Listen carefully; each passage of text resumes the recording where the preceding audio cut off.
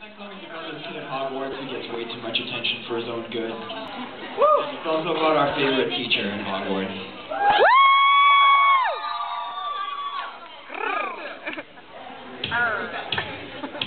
Yum.